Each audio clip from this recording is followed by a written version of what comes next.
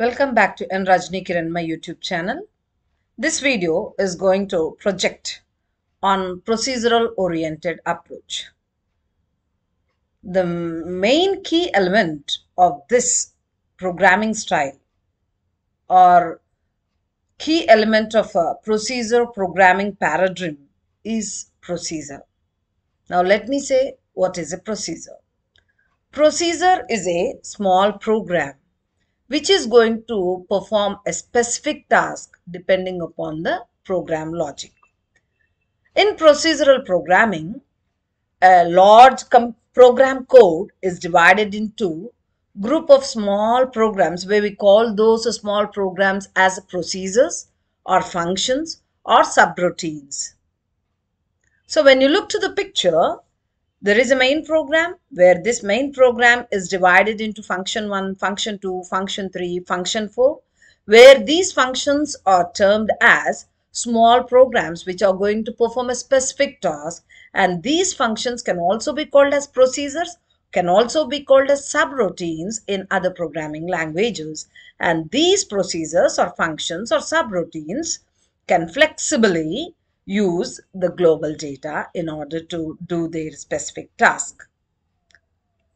Few more points that I wanted to present about procedure-oriented approach is these procedures or functions can access and also operate not only the local data but also the global data as we all know that this global data is shared by all these procedures or all these functions. Second one, there is no restriction in accessing the global data. That means these functions have unrestricted access to the global data.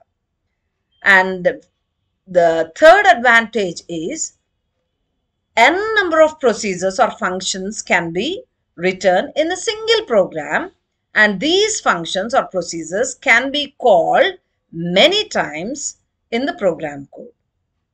And the approach that this procedure oriented programming is going to follow is top down approach. That means execution always starts at the top and it goes on one after the other in a sequential order.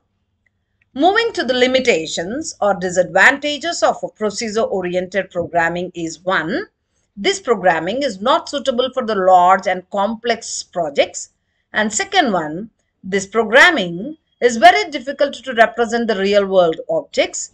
And the third one, it is difficult to protect the data.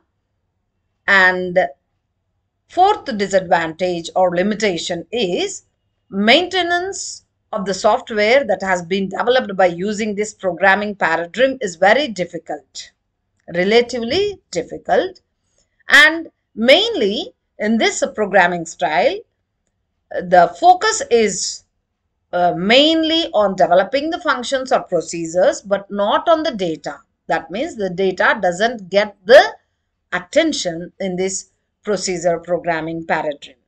Thank you for watching this video.